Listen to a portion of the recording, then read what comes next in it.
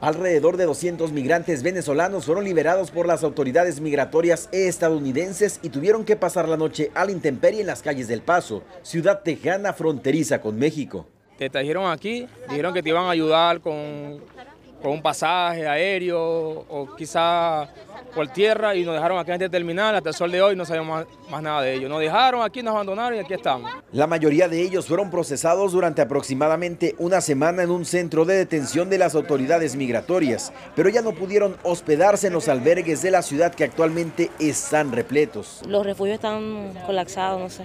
De verdad que no puedo decir no puedo hablar por otro, hablo por mí. Muchos recibieron el auxilio de la comunidad paseña. Les traje poquita ropa, sopita calentita, humildemente unas cobijas, no es mucho, pero gente, animémonos, ayudarles a nuestra gente. La mayoría de estas personas llegaron a esta terminal de autobuses en el centro del Paso sin dinero para adquirir un pasaje que los lleve a su destino en el interior del país y ahora buscarán una mano amiga en la frontera que les brinde la ayuda económica. De lo contrario, permanecerán días viviendo en las calles porque la única manera de viajar gratuitamente en los autobuses que salen a diario desde Texas hacia Washington, D.C., Nueva York o Chicago es estar hospedado en uno de los albergues el gobernador republicano de Texas, Rick Abbott, ordenó hace varios meses trasladar a los migrantes para protestar la política migratoria del presidente demócrata Joe Biden. César Contreras, Voz de América, El Paso, Texas.